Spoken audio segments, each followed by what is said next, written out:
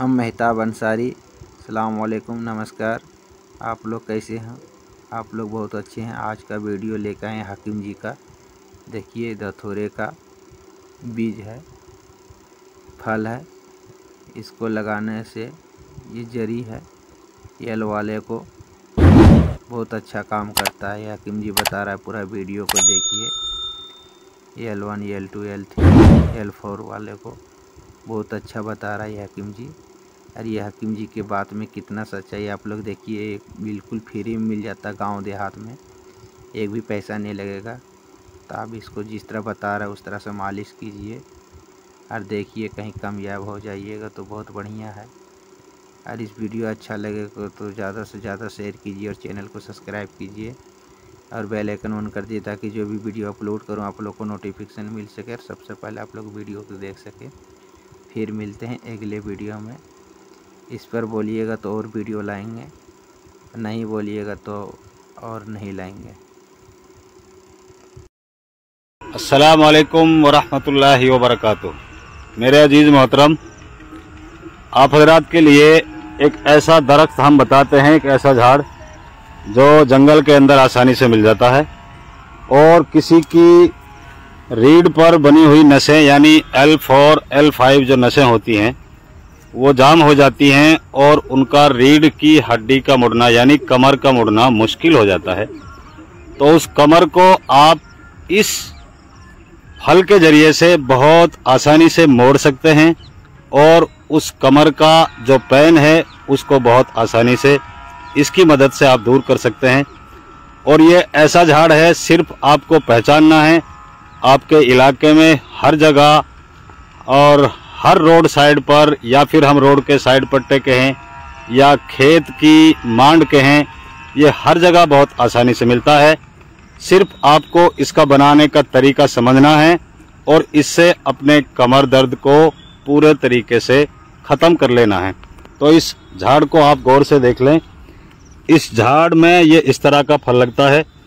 इस झाड़ को हम धतूरा कहते हैं और इसके अंदर ये कांटे दिखते हैं, इसको आप देख लो और एक तरीके से इसे समझ लो। इस तरीके से ये जो फल है, थोड़ा कटीला होता है।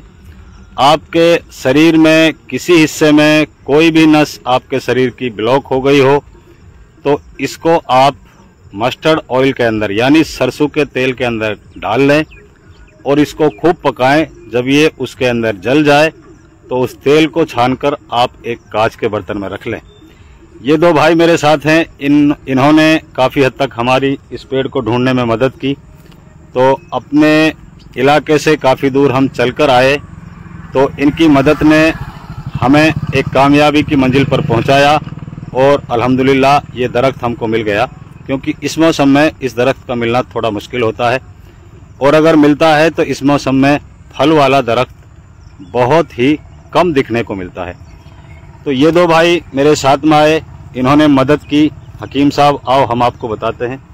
तो इन भाइयों की मेहनत कबूल हुई और ये पेड़ हमें मिल गया। तो इसमें से आप ऑयल बना लेंगे, ऑयल बनाकर कांच के बर्तन में रख लेंगे। आपकी L four L five jam हो गई, पूरे तरीके से रुक गई।